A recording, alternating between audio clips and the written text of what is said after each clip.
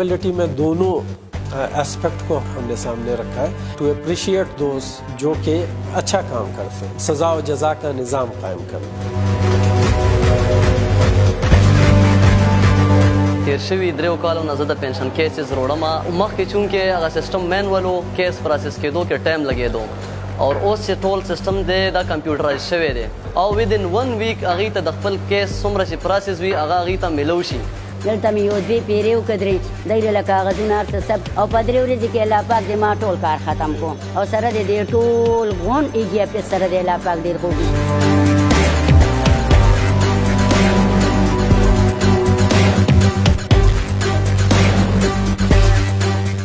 जब से मैंने यहाँ पे as accountant general K P in February 2021 join किया है तो we have set our priorities main focus हमारा सर्विस डिलीवरी पे है। इसके लिए हमने बहुत सारे स्टेप्स लिए हैं, बहुत सारे रिफॉर्म्स किए हैं। जो रिफॉर्म्स हमने किए हैं, उसमें पेंशन फैसिलिटेशन सेंटर हमने इस्टेब्लिश किया है। तकरीबन दो लाख के करीब हमारे पेंशनर जो है, वो डायरेक्ट क्रेडिट सिस्टम है और वो डायरेक्ट उनके बैंक अकाउंट्स में पेमेंट होती है। उसके अलावा हमने एक हफ़्ते का टाइम मुकर किया है कि एक हफ़्ते के अंदर अंदर पेंशनर को प्रोसेस हो केस इसके अलावा हमने जीपी फंड फैसिलिटेशन सेंटर कायम किया है। उसके दो फेजेस है।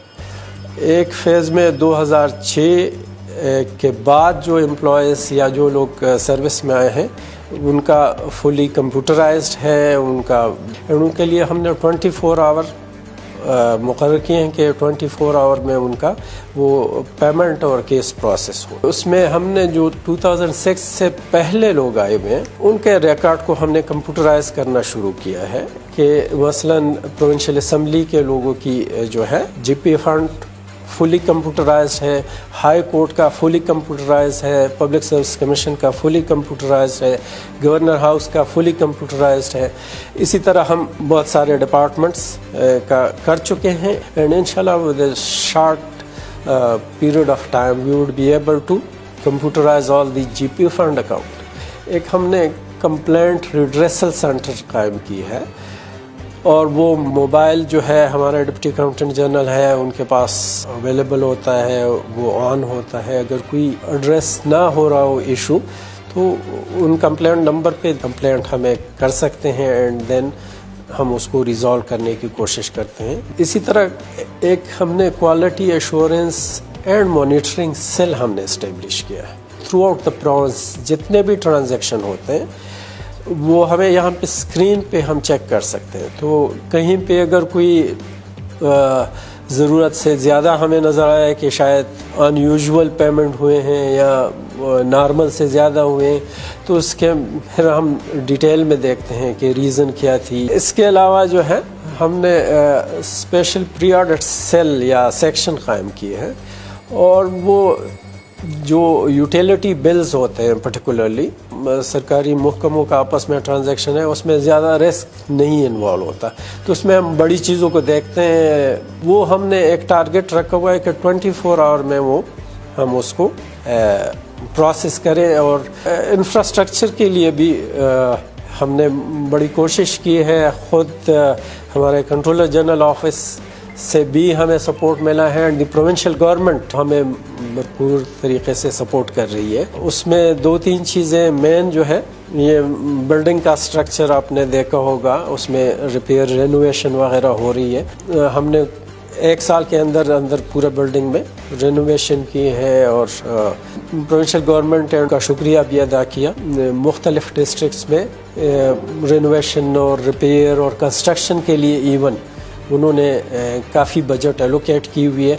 इसके अलावा प्रोविशल गवर्नमेंट ने मर्ज डिस्ट्रिक्ट के लिए आईटी इक्विपमेंट एंड फर्नीचर वगैरह, ये चीज़ें हमें प्रोवाइड की है with the support of the donor agency और एक कोशिश ये है कि जो डिस्ट्रिक्ट कम्प्लेक्सेस है that has been agreed by the chief secretary and CM साहब के साथ दी अदर डे कि जितने भी डिस्ट्रिक्ट कम्प्लेक्सेस हैं with in that account office जहाँ पे इनका अपना बिल्डिंग नहीं है डिस्ट्रिक्ट अकाउंट ऑफ़िस का तो that is to be constructed within the district complexes और we are thankful to the provincial government कि उन्होंने तकरीबन हज़ार मिलियन के करीब एलोकेट किए हैं मुख्तलिफ़ डिस्ट्रिक्ट में। सोलराइजेशन अभी मेन दफ्तर में प्रोविंशल गवर्नमेंट हैज़ अग्रीड और वर्ल्ड बैंक हैज़ अग्रीड के सौ के वी के करीब यहाँ पे एक प्लांट लगाए। इसके अलावा हमने अकाउंटेबिलिटी का एक बड़ा हमने उस पर फोकस रखा है।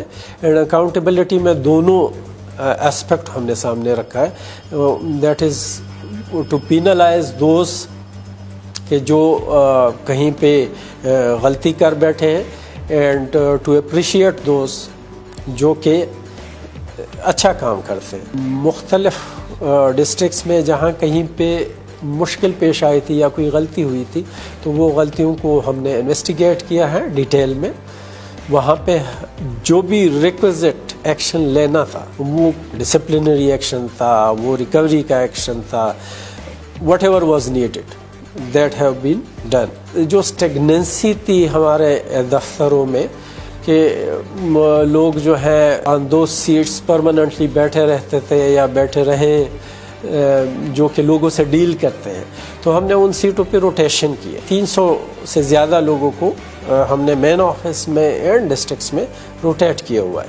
इसके साथ साथ हम कैपेसिटी बिल्डिंग पे काम कर रहे हैं। कैपेसिटी बिल्डिंग में हमने 400 के करीब लोगों को पिछले एक साल के दौरान ट्रेनिंग दी है मुख्तलफ जो हमारे फ़ंक्शंस है उसके हवाले से। जहाँ कहीं पे भी हमें कमी नज़र आई है इंटरनल कंट्रोल्स की हमने वो एस ओ पीज़ उसके लिए बनाए हैं। अगर कहीं पे एस ओ पीज़ मौजूद थे और वो फॉलो नहीं हो रहे थे तो हमने री एनफोर्स किया है उन एस ओ पीज़ को इम्प्लीमेंट कराने के लिए। तो मुख्तलिफ़ स्टेप्स हमने इसी तरह लिए हैं, जो हमारे दफ्तर के फ़ंक्शंस और सर्विस डिलीवरी में बेहतरी लाने के लिए।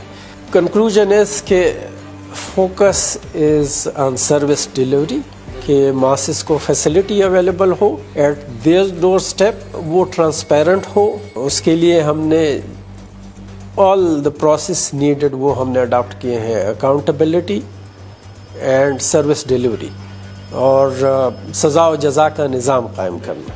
तो वो हम फोकस कर रहे हैं एंड uh, इसके साथ साथ जो है वो इंटरनल कंट्रोल्स और बाकी चीज़ों को भी हम देख रहे हैं और जहाँ पे जितने भी इम्प्रूवमेंट की गुंजाइश है, वो हम कर रहे हैं।